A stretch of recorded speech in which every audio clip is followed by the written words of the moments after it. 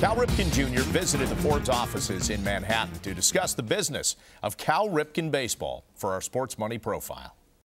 Cal, when you were playing, when did you first start to think about your business career when you retired from baseball? I think my first thought about it was was right around 1984, or 85, because I was only two or three years in, and I kept seeing players uh, um, start to exit their baseball careers. Jim Palmer, uh, I think Ken Singleton was getting close, Al Bumbry, guys that I grew up watching, and I kept thinking, what are you going to do next?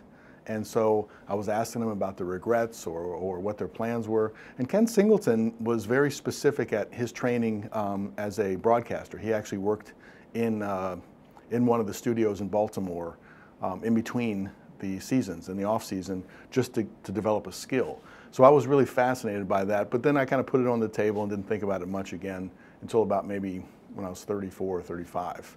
Um, so then I started to think, um, uh, yes, I'm going to have an opportunity to do something else. If you save your money really well um, and you really like golf, you might be able to stay in your pajamas and play golf the rest of your career. But for me, that, that wasn't the answer. So I was looking for ways to create opportunities while I played um, that I could walk into it when I'm finished. How important was it getting your first minor league team? It seems kind of like a risky venture looking back because you're investing in a baseball stadium in Aberdeen before you even have a team. the uh, yeah, it, it's not something you write business books about by any means. Uh, and and my interest was more about the kids side than it was minor league baseball. I kind of stumbled into the minor league baseball business. Um, there was an effort in Aberdeen, my hometown, to try to get a minor league team in. They were trying to build a stadium. I had value to the political process of going down and knocking on the governor's door and say, "How about some help?" And we were successful in that way. So I partnered in that, and then eventually I took it over myself. Um, and I authorized the building of a stadium at that time without a team, which that's probably not the smartest way to go into it because you're on the hook for a lot of money with that stadium. And uh, I was able to find a team, move a team, go through some territorial issues involving big league teams and minor league teams. And it all turned out uh, really nice, which gave us a nice community gathering point, and it gave us a chance to see the synergy between minor league baseball, which is an early process of fulfilling your professional dream, which all kids have, and the kids over here experiencing baseball in the very beginning. And they can look to this side and see the hope and see the dream that is being fulfilled over here. Um, and they're living it out on, on in, in, their skill levels and in their way. So they're experiencing some of the things that these guys are experiencing um, and everybody over here hopes to have uh, a big league career. And we, we know that this many of them really get a chance to do that. So we love the synergy. So we started looking at other minor league teams and trying to figure out how kids complexes could come together with minor league teams. We haven't found that perfect model um, in Aberdeen um, yet, but we're looking. How do you make that synergy work and leverage the Ripken brand through your various businesses? Well, I mean, in, a nutshell, and again, trying to simply communicate this, is that there's a certain value um, of your endorsement, of your name. Uh, it stands for something over a period of time, who you are.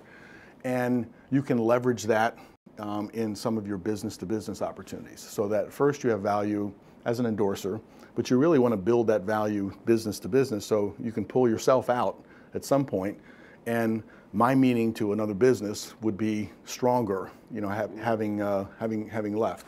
Um, Under Armour is a wonderful example. Uh, Under Armour, um, they have a great product. You know, they're uh, getting in and out everywhere. We have a lot of kids that love Under Armour. My name can be helpful in that kid space as you try to get your product uh, in front of them. But eventually, you'd love to be able to have Ripken Baseball stand for something that you can pull me out of, and then our value to Under Armour continues to grow as we look for ways within the business world to help them sell products, and they help us with our business. It's my impression that if your main goal was profit rather than growing the game of baseball, your business could be much bigger in terms of revenue. Am uh, I right about that? To simplify what you just asked, um, are there better ways to make money? Yes. I've left a lot of money on the table with uh, products like uh, Propecia, Viagra, and all that kind of stuff, because I look at it and I go, okay, I, I can't see myself doing th that sort of thing. To me, it's uh, what you love to do, what you hope that you're giving to the uh, next generation of kids, the lessons that they learn through sport, through baseball, um, and you hope that they can experience some of the things that I experienced. So, yes, I mean, this is what I like, this is what I know, um, uh, but are there better ways to, uh, to make money? Sure. Is there any one piece of your business model, any of these businesses, that is more important than the other or that makes the others go? No, I don't think so. Um, uh, I think all of them piece together really nicely. Uh, you know, our foundation, in the name of, of my dad, the Cal Ripken Senior Foundation, um, that and the for-profit and the Babe Ruth League, they all trade off the name. So you have to be very careful about the name, and uh, and you have to see the values, um, and it all does work in concert with each other. But you can't really place too much emphasis um, on one part of it. Um, you just have to know in the back of your mind that it's it's going to all come together, um, and you and you treat them. Um, as, as special as you can. Uh, I, I know that was a wordy answer.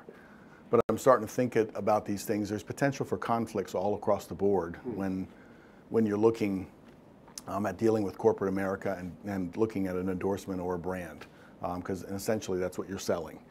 Um, but I think we've been very careful in making sure that all the areas that we're in that do trade off the name kind of come in sync. What, what's the trick to making sure they come in sync, though? Because you know I, have looked at uh, uh, the business careers of a lot of former athletes.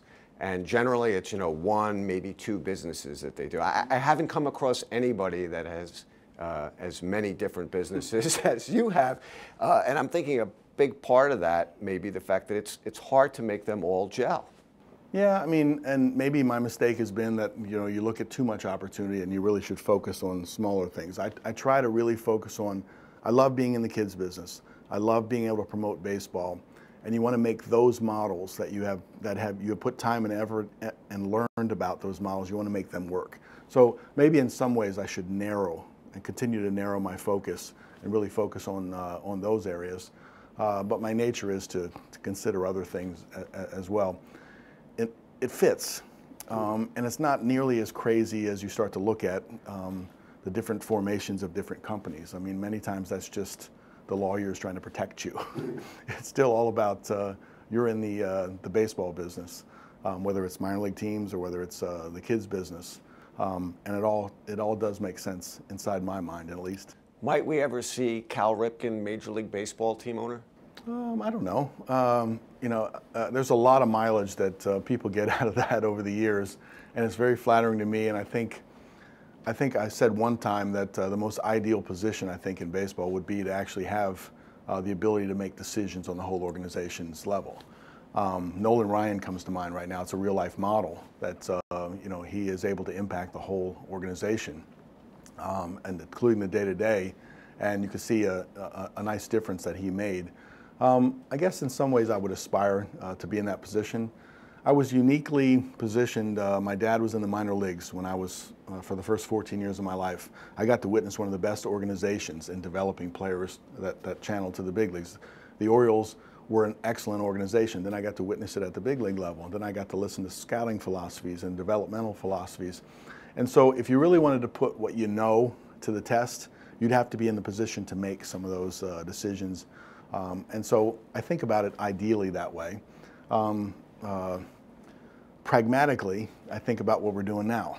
And as we're gaining um, uh, momentum and as we're looking at putting these other models in place, I could get sucked into that and stay in, into that and be very satisfied as well. But in the back of my mind, um, I lived a life of the highest level of professional baseball. I learned, I paid attention.